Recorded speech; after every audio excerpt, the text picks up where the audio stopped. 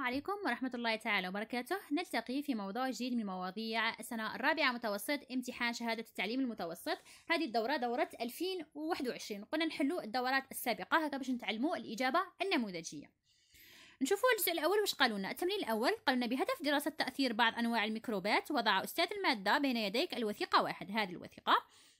التعليمات باستخدام الوثيقة ومكتسباتك أجب عما يلي. قلنا أنقل الجدول ثم ضع كل ميكروب من الوثيقة واحد في الخانة المناسبة. يعني هذو كامل بعض أنواع الميكروبات. فنقولوا وينها الميكروبات النافعة؟ وينها الميكروبات المضرة؟ ولا الضارة. بعد قلنا حدد الشروط الأساسية لنمو وتكاثر الميكروبات. نروح نشوفوا الإجابات النموذجية اللي جاتنا من عند وزارة التربية. هنا واش قالوا لنا قالوا يمثل الجدول ينقل الجدول ثم يضع كل ميكروب من الوثيقة واحد. شوفوا عندي بزاف تاع الحالات عندي. هاد الحالة الأولى حالة ثانية حالة ثالثة. علاه قالوا لنا بلي كاين سلالات تاع فطر البان... البانسيليوم وها والكولي هادي كاين فيها السلالات الضارة وكاين النافعة. اللي يحطها في الضارة صح واللي يحطها في النافعة صح.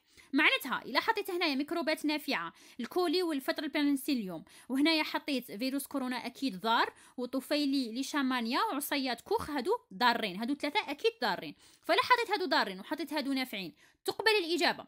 إلا ح... إلا ما حطيتش كاع ميكروبات نافعة كامل حطيتهم ميكروبات ضارة. تقبل الإجابة.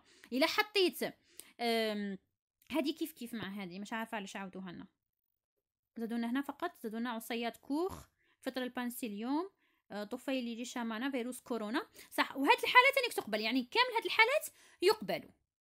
صح من بعد قلنا شهي الشروط. الشروط هو توفر الغذاء وعندي توفر حرارة مناسبة. الميكروبات تنمو في الحرارة المناسبة من 25 إلى 37 درجة. الحرارة المثلى لها هي 37 درجة يعني حرارة جسم الإنسان. وعندي توفر رطوبة ملائمة يعني هذه هي شروط نمو الميكروبات. صح نروح نشوف الآن التمرين الثاني. التمرين الثاني وش قالوا لنا؟ قالوا أثناء مراجعتك لدرس الاتصال العصبي مع زميلك لاحظت أنه أخطأ في تحديد الهدف من حدوث الفعل المنعكس. اعتقد أن المركز العصبي المسؤول عن حدوث الفعل المنعكس هو الدماغ. أجب عن التعليمات التالية تصحح معلومات زميلك. التعليمات وش قالوا لنا؟ مستعينا بنتائج تجربة واحد. هاي التجربة عطوها لنا. والتجربة اثنين دوك نشوفوهم تجارب وراهم اشرح لزميلك السبب الذي جعل الضفدع يسحب طرفه السفلي. الأيسر من الحمض ولا يسحبه من الماء. استنتج الهدف من حدوث الفعل المنعكس بالاعتماد على التجربتين واحد وثلاثة. صحح لزميلك اعتقاده بأن الدماغ هو المسؤول عن حدوث الفعل المنعكس مع التعليل. أعد رسم الوثيقة اثنين موضحا عليها بأسهم اتجاه رسالة العصبية في الفعل المنعكس. يعني نعودوا نرسموا هذه الوثيقة. نحن نشوفوا الآن التجارب.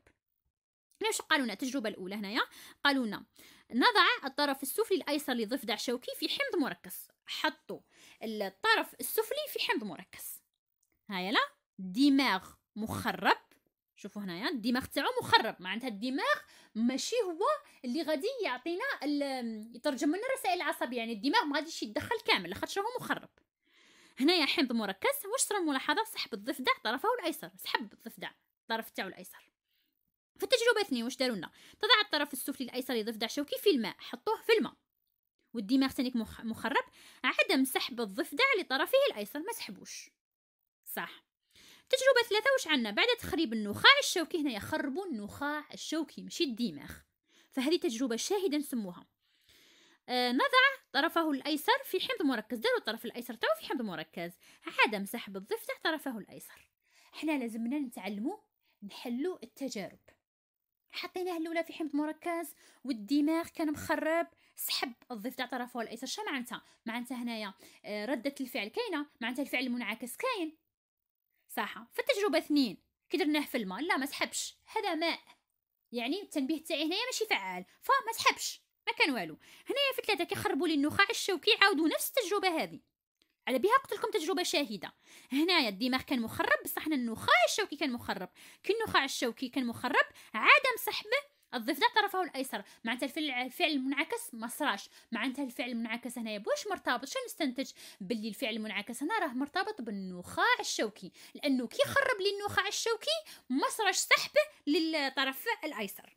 هكا لازم نركز هذه قبل ما نقرأ كامل الأسئلة نروح نركز على التجارب ونفهمها مليح. وهنا صح الوثيقة اثنين راهم يقولوا لي المخطط لرسم تخطيطي تاع المنعكس الفطري. هنايا. ولا الفعل المنعكس صح؟ نروح نشوفوا الإجابات النموذجية اللي راهم مقترحينها علينا. واش عندي؟ يشرح لي زميلي السبب الذي جعل الضفدع يسحب طرفه. شو نقولوا سحب الضفدع الشوكي طرفه السفلي الأيسر بعد وضعه في الحمض المركز كي يتجنب خطر الحمض.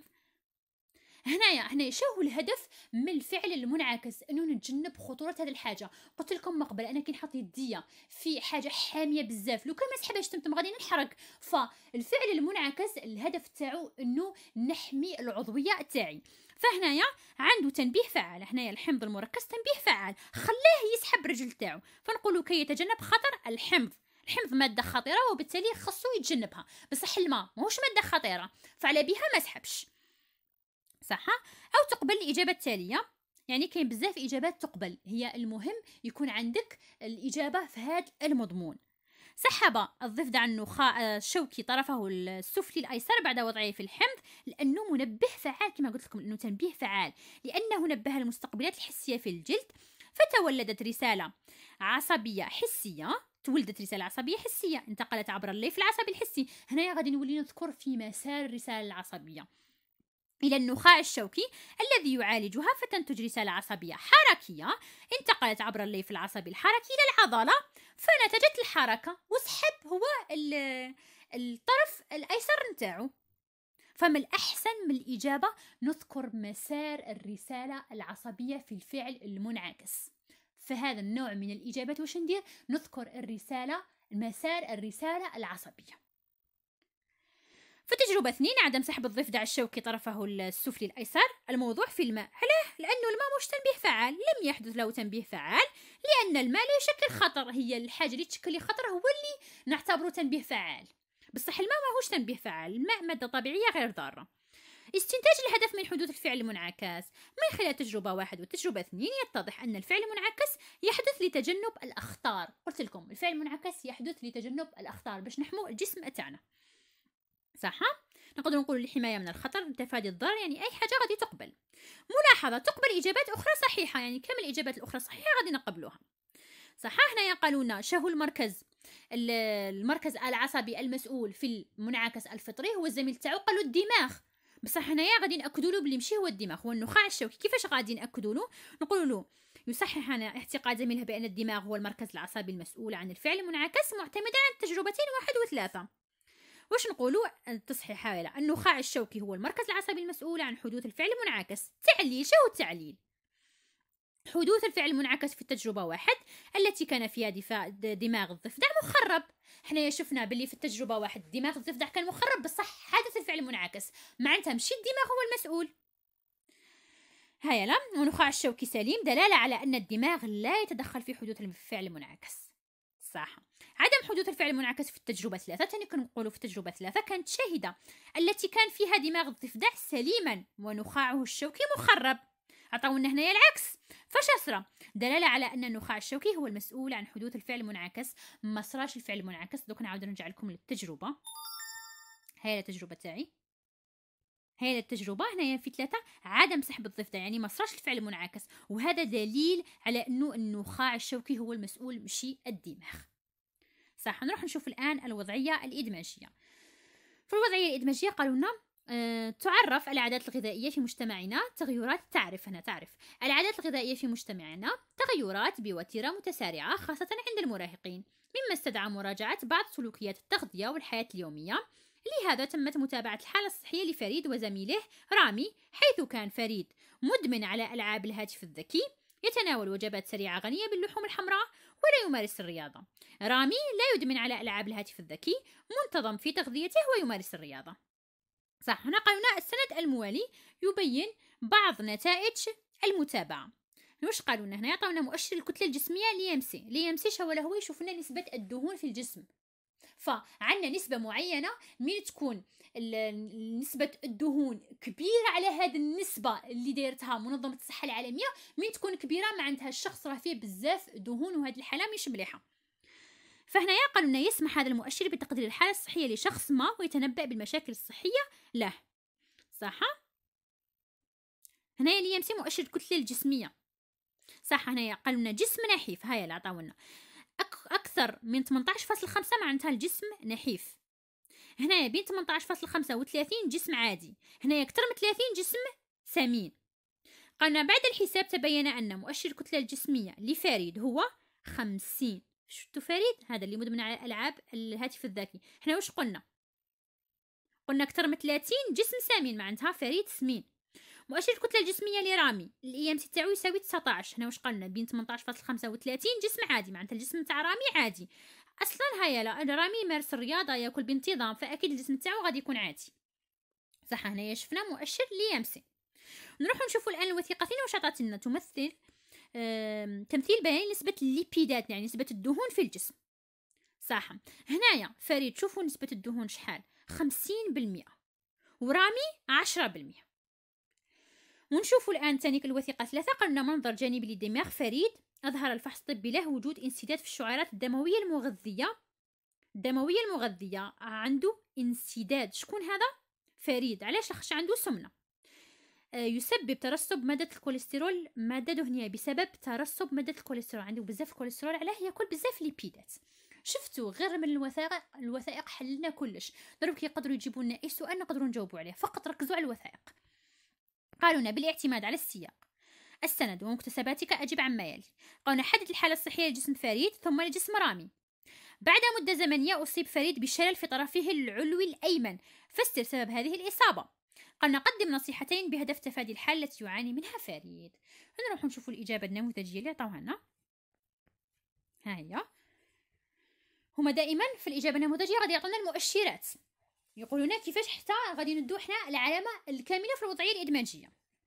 الأولى قالوا لنا يحدد الحالة الصحية لجسم فريد ثم رامي يستعمل الوثيقة واحد ومكتسباته. معناتها غادي نقولوا باستعمال ولا باستخدام ولا باستغلال الوثيقة واحد ومكتسباته القبلية ونبدأ نجاوب. الحالة الصحية لجسم فريد جسم سمين. من ديتها هذه؟ من الوثيقه واحد من يمسي. كما كنت كما شرحتها لكم. الحالة الصحية لجسم رامي جسم عادي. صح. الآن نجو نفسر أنا سبب الشلل. نقول يفسر سبب شلل الطرف العلوي الأيمن لفريد بربط علاقات منطقية بين معطيات واردة في السياق والسند. نقول؟ يربط علاقة بين الإفراط في تناول الدهون الوجبات السريعة وتراكم الكوليسترول. نقول بما أنه هو كان يفرط في تناول الدهون تراكم الكوليسترول عنده. صح. يربط علاقة بين تراكم الكوليسترول وانسداد الشعيرات الدموية. ونقول بما أن لديه تراكم في الكوليسترول تسبب هذا في انسداد الشعيرات الدموية المغذية للمنطقة واحد. على بها صار هذا الشلل. المنطقة تاعو في الدماغ انسدت الشعيرات الدموية هذه انسدت وبالتالي له هذا الشلل. يربط نزيدو تاني كيربط علاقة بين عدم وصول المغذيات وغاز الأكسجين وموت الخلايا العصبية. فكي سدت الشعيرات الدموية واش صرا؟ المغذيات ما ولاش توصل لي كي المغذيات ما ولاش توصل لي والغاز الأكسجين ما ولاش يوصل لي موت الخلايا العصبية. كي ماتت الخلايا العصبية واش صرا لي؟ شلل. الرسالة العصبية تسمى ماهيش تفوت. فشلل الرسالة العصبية تسمى ماهيش تترجم. فشلل voilà هكا نربط. فنعاود نجاوبو كامل هذا التفسير. بشكل علمي نموذجي. نقول باستغلال المعطيات الواردة في السياق والسند آه، يفرط فريد في تناول هذا فريد ياك ويفرط فريد في تناول الدهون. مما سبب تراكم الكوليسترول. نقول تراكم الكوليسترول سبب انسداد الشعيرات الدموية المغذية للمنطقة واحد. وبالتالي أدى إلى عدم وصول المغذيات وغاز الأكسجين وموت الخلايا العصبية للمنطقة واحد مما سبب شلل آه، شلل الطرف العلوي خلاص هكا نجاوبه هنا قلنا يربط علاقة هنايا وعدم تشكل الرسالة العصبية تسمى كي آه، الموت الخلايا العصبية. هذه الحاجة غادي تسبب لي عدم تشكل الرسالة العصبية الحركية المسؤولة عن الحركة. وبالتالي تسبب الشلل.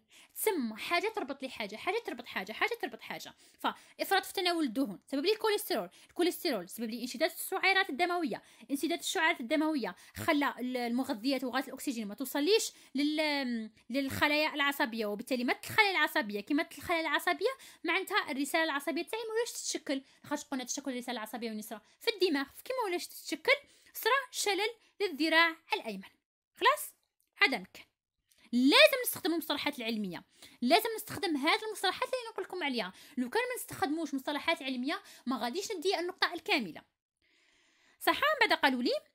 يستعمل السياق الوثيقة اثنين قد نقول باستغلال الوثيقة اثنين والوثيقة ثلاثة ومكتسبات القبلية ونجاوب يرجع سبب شلل الذراع الأيمن لفريد إلى موت الخلايا العصبية في المنطقة واحد وهذا لعدم وصول المغذيات وغاز الأكسجين إليها. بسبب انسداد الشعيرات الدموية المغذية. لها لتراكم الكوليسترول فيها نتيجة للإفراط في تناول الدهون الليبيدات التعبير يبقى على حسابكم. هنا يعطونا كامل العلاقات لازم نستخدمهم وهنا يعطونا الإجابة النهائية. الإجابة النهائية قلنا نقولوا باستغلال السياق الوثيقة اثنين والوثيقة ثلاثة ونبدأ نجاوب. يرجع سبب شلل الذراع ونجاوب. المهم هادو اللي راهم دايرين لكم اونغرا هادو نركز عليهم. هادو هما المصطلحات اللي يليق نستعملهم في الإجابة تاعي باش ندير العلامه الكاملة. تحضروا قولي النصيحتين. شو هما النصيحتين؟ نقولوا باستغلال الوثيقة واحد والوثيقة اثنين ومكتسبات القبلية. شهي النصيحة؟ عدم الإفراط في تناول الأغذية الليبيدية. هي هاد المشكلة قاع واش صرات؟ بأنه تناول الليبيدات بزاف أنه تناول الدهون بزاف. فنقول عدم الإفراط في تناول الأغذية الليبيدية ونقول ممارسة الرياضة لحرق الدهون المتراكمة. خصني نمارس الرياضة بانتظام. صح. من بعد قالوا لي نعاود الرسم ونقول الاتجاه الرسالة العصبية. فهنا هاي عاودنا الرسم قلنا الاتجاه الأول الأسهم متجهة من الجلد إلى النخاع الشوكي. هنا من الجلد هاي للنخاع الشوكي تفوت هاك. هاي الاتجاه الثاني الأسهم متجهة من النخاع الشوكي للعضلة من النخاع الشوكي للعضلة ثم تبدأ منا. العضو المستقبل. أكيد غادي نبداو من العضو المستقبل. اللي يروح يروح يروح. عندي هنايا ناقل حسي. تروح للنخاع الشوكي. من النخاع الشوكي تروح عبر الليف العصبي الحركي توصل للعضلة. ثم بهذه الطريقة يكون عندي اتجاه الفعل المنعكس. voilà وهكا نكونوا كملنا من الموضوع تاعنا. نتمنى تكونوا استفدتوا منه. نتلاقاو في مواضيع أخرى إن شاء الله. والسلام عليكم ورحمة الله تعالى وبركاته.